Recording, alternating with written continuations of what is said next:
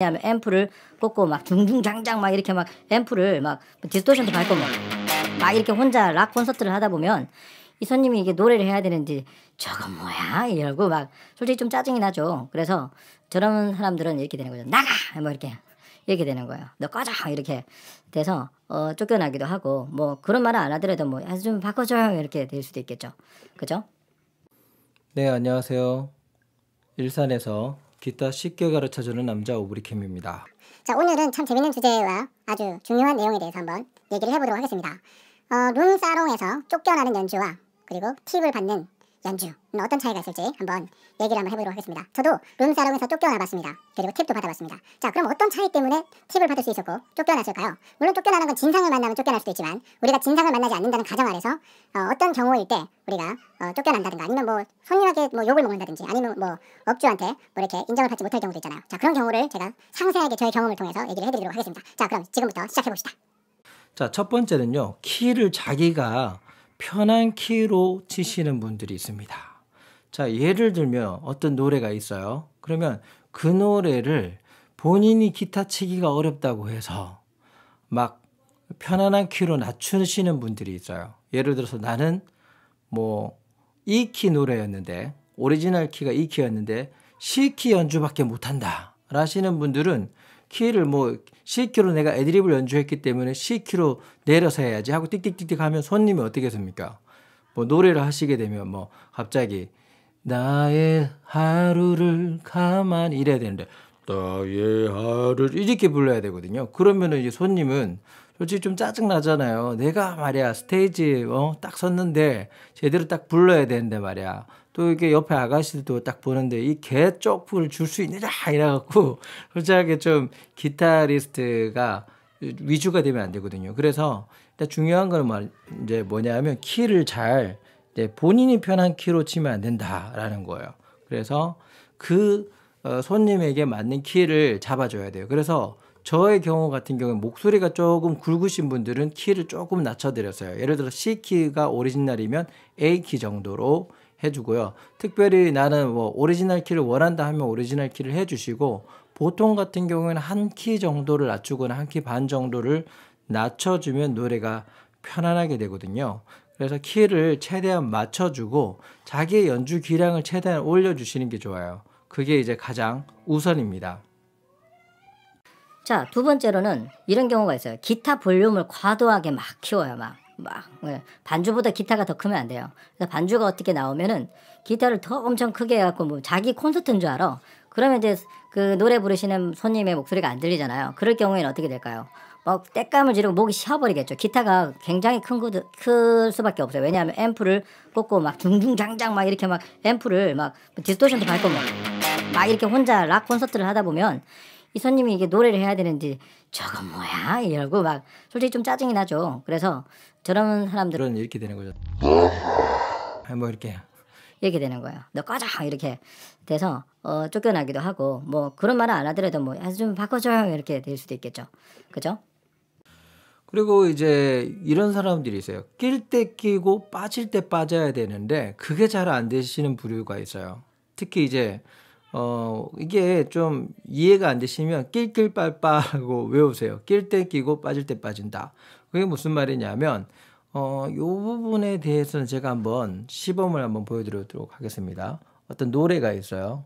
이런 노래가 있다고 한번 쳐봅시다. 사랑투라는 노래예요. 처음에 인트로가 이렇게 나왔잖아요.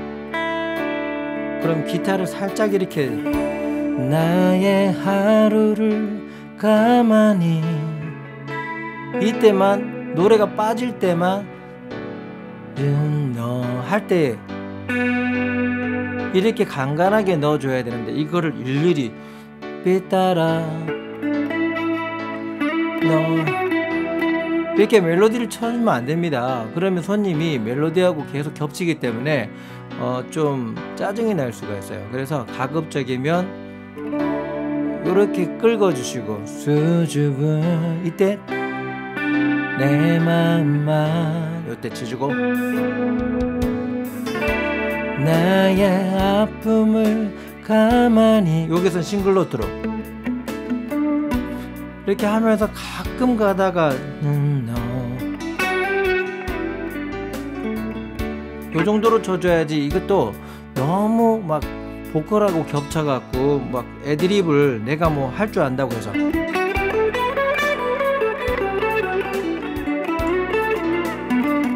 이렇게 하면 이게 노 이런 거죠. 야 나가. 뭐 노래 하라는 거야 말라는 거야 이렇게 되는 거예요. 저도 예전에 7080에 이렇게 한번 가본 적이 있거든요. 그래서 노래 하려고 하는데 옆에 기타리스트가 왜 뭐 긴장했는지 모르겠지만 어 정말 후리는 거예요. 엄청 그래갖고 아 난 노래하러 왔는데 이게 뭐지 싶어갖고 솔직하게 뭐 제가 뭐 같은 뭐 업종에 있으니까 제가 뭐 업주한테 뭐라고 할 수는 없지만 야 이거 이 여기 장사 안 된다 이런 생각이 들더라고요. 그래서 어, 낄 때 끼고 빠질 때 빠져야 돼요. 그래서 솔로를 하고 싶더라도 뭐 10번 할 거뭐 3번만 하시고 제발 그 7080이나 룸사롱에 계신 분들 기타 잘 친다고 막 무조건 치지 마시고 좀 뭐 좀 절제를 해 주시는 게 가장 좋아요. 뭐, 뭐 기타 우리 자랑하러 온 건 아니니까 거기서도 어쨌든 손님이 왕이니까 최대한 낄 때 끼고 빠질 때 빠져라 요겁니다. 그리고 자기 기타 실력을 자랑하는 사람들이 엄청 있어요. 뭐 스케일이 뭐 오늘 스케일 뭐 외웠는지 펜타토닉을 외웠는지 모르겠지만 막 갑자기 뭐 이렇게 예를 들어서 뭐 뜻한 내 손길만 이렇게 하면 갑자기 뭐 하더니 뭐 하고 막 하고 막 이런 식으로 막 속주를 막 해버려요. 근데 이게 어울리냐 이거죠. 그러니까 자기 손가락 빨리 돌아간다는 거 뭐 자랑하는 거는 뭐 이해해요. 그렇지만 그거는 본인 콘서트에 가서 하시고 뭐 중요한 거는 자기 기타 실력을 자랑하는 게 아니고 최대한 그 노래의 흐름에 맞게 해야 된다. 어, 예를 들어서 이런 거죠. 뭐 그냥 백 반주 나오면 예, 또다시 사랑이라 할 때 가끔 지 않아. 깔아주기만. 얌전하게. 나만 행복하기. 이렇게 깔아주기만 해도 돼요. 와와와 예널 만나면 말없이 있어도 또 하나의 나처럼 변안했던 거야 이렇게 깔아주다가 가끔 음, 내 모습에 할때 요 정도로만 해줘야지 갑자기 이걸 뭐 갑자기 뭐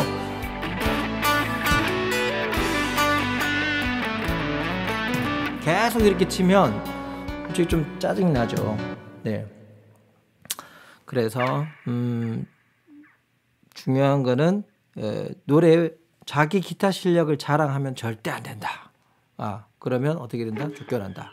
그리고 이 노래에 방해를 주는 사람들이 가끔 있어요. 아까도 얘기했지만 요거 처음에 나오면 이게 뭐 처음부터 이런 사람 이런 사람이 있어요. 노래가 나오는데 계속 멜로디를 치는 오브리 기타가 있어요.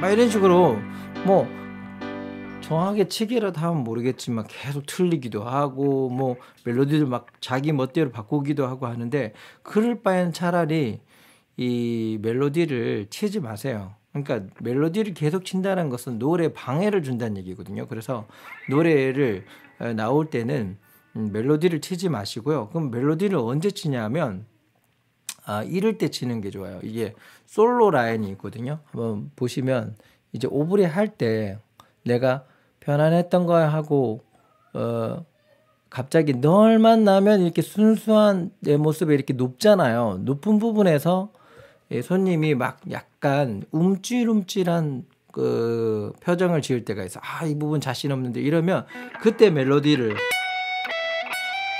자신 있게 그 특정 한 부분만 이렇게 멜로디를 좀 이렇게 쳐, 쳐준다든지 그런 식으로 해주시는 게 좋고요. 그리고 두 번째로는 이제 손님이 박자를 놓쳤을 때 딱 멜로디를 좀 넣어주시면 좋아요. 뭐 갑자기 뭐 이제 딱 들어가야 되는데 첫 박에 딱 놓치면 그때 멜로디를 빨리 센스 있게 쳐주시면 이제 인정을 받겠죠. 그리고 가장 중요한 게 뭐냐면 간주 때가 제일 문제가 돼요. 이 간주 때 돌아올 때 이 손님들이 어, 어디에 시작하는지 모를 때가 있어요. 물론 자막에 보시면 나오긴 하겠지만 갑자기 음을 잡기가 힘들거든요. 그래서 딱 들어가는 부분의 멜로디만 딱 쳐주시면 돼요. 내겐 너무 행복한 너 이렇게 나온 다음에 간주를 하겠죠.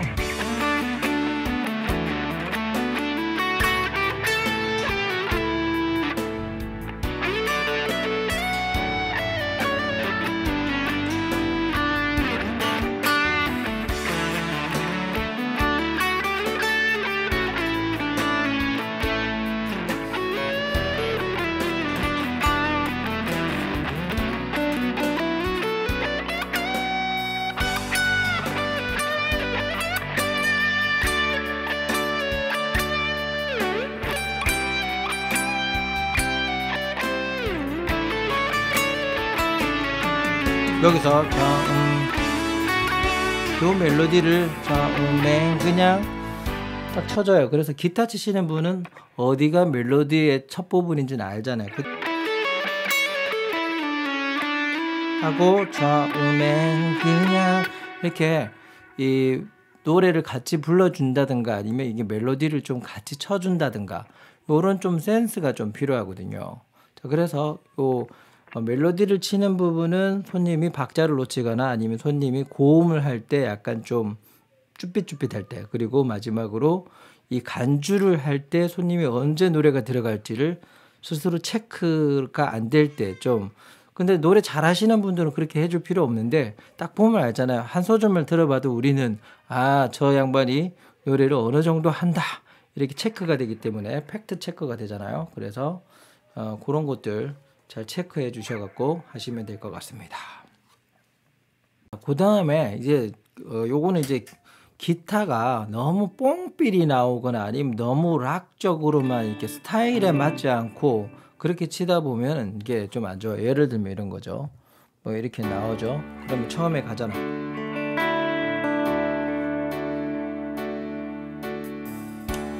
나의 하루를 가만히 이렇게 나오면 여기서 멜로디를.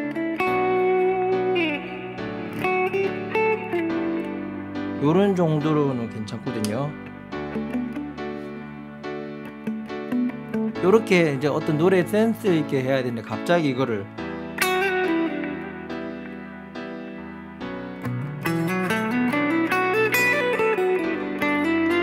뭐 이게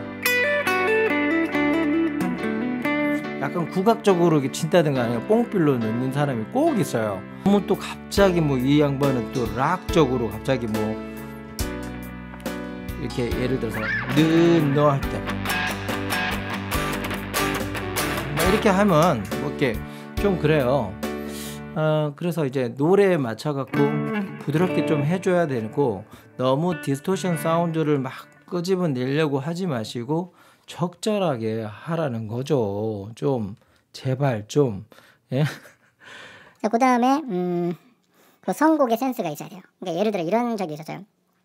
이 요즘 노래는 되게 그 다시 이렇게 막 편곡해서 다시 부르는 경우가 있잖아요. 그래서 뭐 옛날에 어떤 뭐어그 어떤 노래가 유명한 노래가 있으면 그 노래의 제목을 말했는데 갑자기 그 사람의 수준에 맞지도 않는 편곡된 그 반주를 들려준다든가 그러면은 상당히 난감합니다. 본인 연주하기도 난감하고 코드도 상당히 많이 바뀌기 때문에 가급적이면 원곡으로 어, 해주고 그 사람의 노래 실력이 좀 된다든가 아니면 아 그 사람은 저 정도 사람은 족을 원할 건데 하면 너무 또 옛날 방식의 어떤 그, 그 편곡이 되어 있는 걸로 트는 것보단 요즘에 맞는 곡으로 좀 센스 있게 해주시면 아주 좋습니다.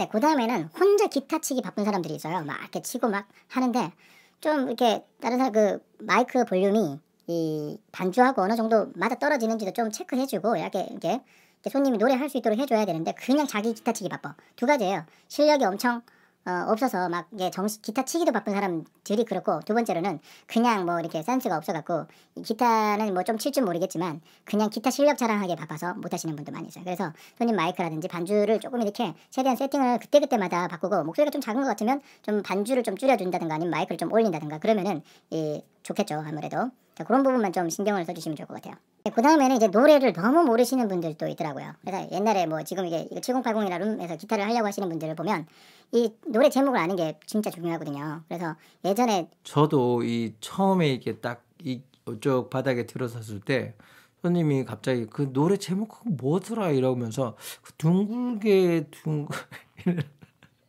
그러니까 제가 이렇게 한 거죠. 아, 둥글게 둥글게 짝 둥글게 설마 그걸 업소에서 부를 리는 없잖아요. 그래서 이제 이제 싸이의 챔피언이라는 노래가 있는데 거기에 보면 둥글게 둥글게 뭐 이게 있어요. 어떤 핵심 어떤 그게 있어요. 그러니까 손님은 그것만 생각한 거지. 둥글게 둥글게. 그래 뭐 요즘에는 인터넷 찾아 치면 둥글게 둥글게 아니면 유튜브에 둥글게 둥글게 이렇게 치면 그 싸이의 챔피언이 이렇게 연관 검색어가 딱 나와. 이렇게 AI처럼. 그리고 그 기타 반주하는 사람 도요. 그게 돼야 돼요. AI가 돼 갖고 딱 핵심 키워드만 딱 들어도 어떤 노래인지 알아야 되는데 그냥 완전히 그 손님 말한 그 제목에만 꽂히면 진짜 동요를 부를 수밖에 없네요. 한번 상상을 한번 해보십시오. 그 룸사롱에 가서 둥글게 둥글게 그렇게 할 수는 없잖아요. 그거 그래서 노래를 많이 아셔야 된다는 것도 중요하고요. 특히 이제 7080이나 룸사롱에서 이제 이제 요즘에는 그건 진짜 공부해야 되는 직업인 게 요즘 새로운 노래 계속 나오잖아요. 그러면은 계속 들어야 돼요. 그 음악 듣고 거기 분위기에 맞게 해주고 최소한 어, 노래 방해를 하지 않을 정도로 연습을 하셔야 된다. 아, 이렇게 해주시면 좋을 것 같아요. 그리고 어떤 분은 이런 분들이 있습니다. 아르페지오를 친다고 해서 맨날 이렇게 정형적으로 치시는 분들이 있어요. 그렇게 하면 진짜 방해됩니다. 한번 들어보세요. 여기서 예를 들어서 아 나는 얌전하게 칠 거야 해서 나의 하루를 가만히 계속 이렇게 쳐.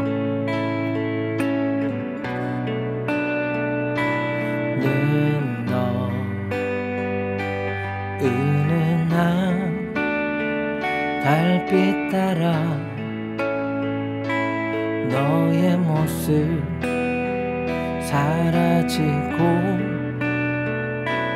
자, 요렇게 뭐 제가 노래 잘해서 이거 커버되는 겁니다. 진짜 이렇게 하면 이렇게 치면요 정말 무슨 기계 무슨 소리 같아요. 그래서 이런 거 같은 경우에는 차라리 요렇게 아르페지오를요 하다 만 듯한 아르페지오가 중요합니다. 이런 거죠. 나의 하루를 가만히 이렇게 하다만 듯한 주는 너. 이런 식으로 한 달빛 따라 너의 모습 사라지고. 그런 식으로 어, 하다만 듯한 아르페지오가 오히려 나아요. 이것도 너무 많이 넣지 마시고 조금씩 넣어야지 계속 이렇게 치시는 분들은 어떻게 된다? 나가. 이렇게 되는 거예요. 음, 자, 그리고 이제 마지막으로는 이제 솔로에 대해서 한번 얘기를 해볼게요. 저는 오브리 기타니까 솔로. 자, 아까 이 후반부에서 나왔던 그 솔로 한 번만 더 해볼게요. 내게 너무 행복한 너에서 예를 들어서 이 멜로디가 나올 때 이 멜로디 라인을 꺼줘야 돼요. 근데 이게 키시고 그걸 똑같이 따라 하려고 하시는 분들은 진짜 이래 됩니다. 한번 보여드릴게요. 내겐 너무 행복한 너 이렇게 나왔잖아요. 그럼 이거를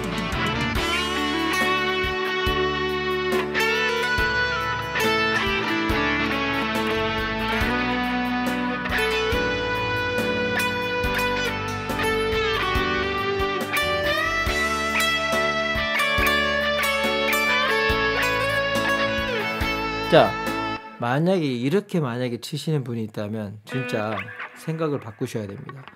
이게 여러분들 오리지널에 있는 라인을 따라 하는 게 좋은 게 절대 아니에요. 차라리 그냥 과감하게 그냥 요 솔로 버튼을 꺼세요. 그리고 펜타토닉 라인으로 오브리를 하세요. 자, 한번 제가 뭐 보여드릴게요. 똑같이 하지 마세요, 절대로. 똑같이 만약에 이걸 뭐 내가 콘서트를 준비하기 위해서 연습을 엄청 했다든가 할 때는 그냥 하세요. 상관없지만 뭐 똑같이 해놓고 흐뭇하게 하, 표정 짓지 마시고 자 일단 보세요. 음, 솔로 라인을 빼요. 여기서 이제 그냥 음, 이거 기다려도 돼요. 꽉 안 채워도 돼요.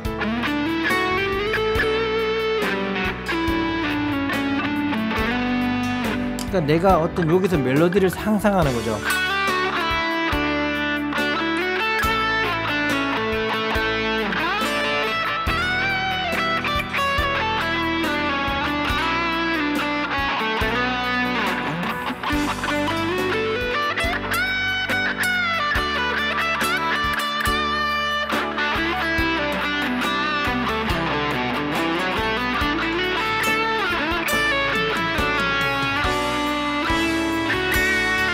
이렇게 하시면 돼요. 그래서 처음에 멜로디 그 노래 간주 나올 때 멜로디만 딱 친다든가 아니면 아, 멜로디를 처음엔 그냥 그 부분만 쳐주면 알아서 손님들은 들어가요. 아니면 마지막에 마지막에 요 라인 있잖아요. A 서스포에서 죠. 요 부분만 이제 똑같이 비슷하게 그 부분만 어, 초견으로 이제 처리해 버리면 이제 문제가 해결이 됩니다. 그래서 어, 간단하게 음, 해결을 해봤고요. 에, 그래서 정리를 하자면 노래 방해를 주면 룸사롱에서 당연히 쫓겨나겠죠. 근데 이런 건 있어요. 아예 술을 먹어갖고 뭐, 아 고주망태가 돼갖고 뭐 그런 사람은 상관없어요. 솔직하게 뭐 아무리 기타를 잘 쳐도 쫓겨나요.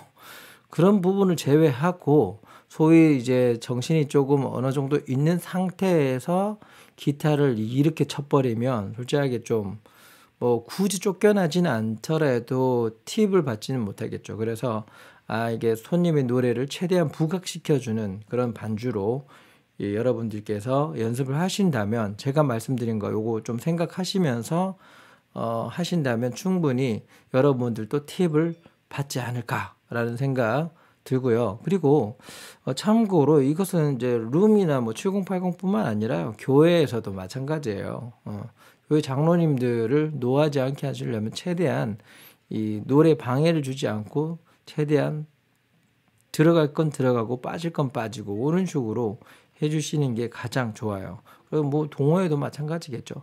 그래서 최대한 여러분들이 어, 문제가 생기지 않게 해주시는 게 좋겠습니다. 그래서 어, 이런 식으로 하면 될 것 같고요. 마지막으로 이 제가 이렇게 어, 오브리 레슨을 여러분들에게 좀 잘할 수 있도록 도와드리고 온라인으로도 레슨을 하고 있거든요.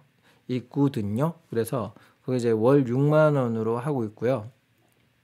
오프라인으로는 제가 이제 서울 그 서울이 아니고 일산 서울 옆에 있는 일산에서 또 개인 레슨을 하고 있으니까 그건 또 필요하신 분들은 이제 문의를 주시면 그거는 제가 문자로 가격은 알려드리도록 하겠습니다. 자, 그래서 저희 밴드에 오시면 많은 자료가 있으니까 이제 많이 참고해 주시고요. 그리고 조금이라도 재밌었다면 구독 버튼 좀 눌러주시면 좋을 것 같습니다. 그럼 여기까지 하도록 하겠습니다.